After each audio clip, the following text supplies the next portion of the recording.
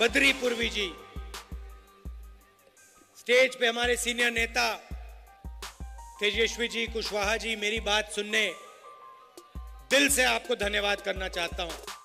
कांग्रेस अध्यक्ष राहुल गांधी आज शुक्रवार, यानी कि 26 अप्रैल को समस्तीपुर में थे।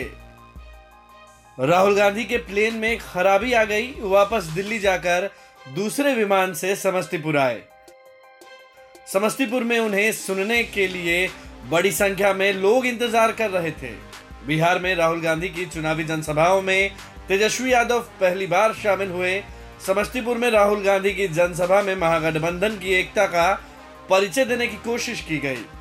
राहुल गांधी ने अपने संबोधन में समस्तीपुर के कांग्रेस प्रत्याशी डॉक्टर अशोक राम के लिए मतदाताओं को जगाया। समस्तीपुर की चुनावी फिजा में कांग्रेस अब और मज़बूत दिखने की कोशिश करेगी।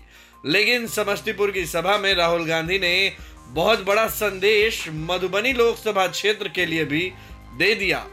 मधुबनी में महागठबंधन के प्रत्याशी वीआईपी पार्टी के बद्री पूर्व हैं।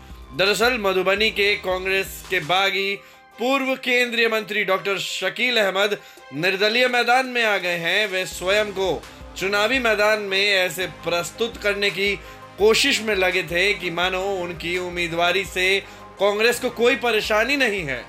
इस कारण मधुबनी में संशय की स्थिति पैदा हो रही थी। कुछ कांग्रेसी भी कंफ्यूज हो गए थे। इसे लेकर वीआईपी पार्टी के संस्थापक सन ऑफ़ मल्लाह मुकेश सहनी भी परेशान थे। बताया जाता है कि मधुबनी की स्थिति के बारे में राहुल गांधी को बिहार महागठबंधन के नेताओं ने गुरुवार की शाम को ही जानकारी दी थी। इसके बाद दिल्ली से राहुल गांधी के ऑफ़िस से आज सुबह यह संदेशा आया कि मधुबनी में महागठबंधन के उम्मीदवार बदरीपुर में समस्तीपुर की सभा में हाजिर रहे। राहुल गांधी स्वयं उनकी उम्मीदवारी को स्पष्ट कर देंगे।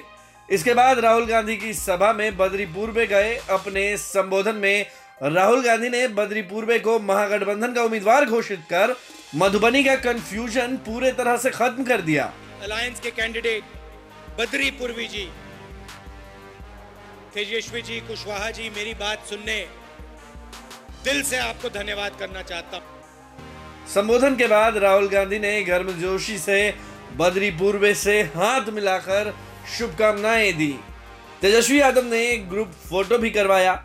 बिहार प्रदेश कांग्रेस कमेटी के अध्यक्ष डॉक्टर मदन मोहन झा ने बाद में पत्रकारों से कहा कि अब मधुबनी में कोई दुविधा नहीं है। मधुबनी में कांग्रेस समेत पूरे महागठबंधन के उम्मीदवार वीआईपी पार्टी के बद्री पूर्व ही हैं और हम सभी उनकी जीत सुनिश्चित करने को साथ साथ काम करेंगे।